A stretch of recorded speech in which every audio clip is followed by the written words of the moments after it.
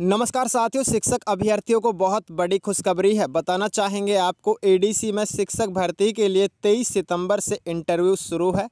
भौतिक विज्ञान के सात पदों से होगी शुरुआत। बता दें आपको, इलाहाबाद डिग्री कॉलेज में शिक्षक भर्ती के लिए 23 सितंबर से इंटरव्यू शुरू होने जा रहे हैं। कॉलेज में कुल 24 विषयों पर असिस्टेंट प्रोफेसर के 132 पदों पर भर्ती होनी है। सबसे पहले भौतिक विभाग विज्ञान विभाग में सात पदों पर भर्ती के लिए इंटरव्यू होंगे।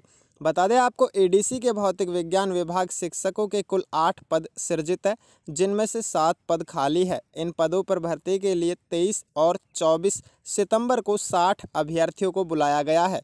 तेईस सितंबर को एससी श्रेणी के आठ और ओबीसी श्रेणी के बीस अभ्यर्थियों और 24 सितंबर को अनारक्षित श्रेणी के 24 और ईडब्ल्यूएस श्रेणी के आठ अभ्यर्थियों को इंटरव्यू के लिए बुलाया गया है। जी हाँ साथियों, बेहद बड़ी अपडेट है। वीडियो को लाइक करें, चैनल को सब्सक्राइब करें, बेल आइकन ऑन करें। मिलते हैं इन्फॉर्मेटिव वीडियो के साथ। जय हिंद, जय भारत।